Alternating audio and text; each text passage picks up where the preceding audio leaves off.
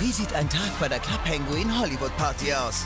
Ich spiele in einem Science-Fiction-Film mit. Danach bin ich der Außenseiter, der wieder alles richten muss. Und mache gern meine eigenen Kunststücke. Und das Beste, meine Freunde jubeln mir zu, wenn ich meine Auszeichnung gewinne.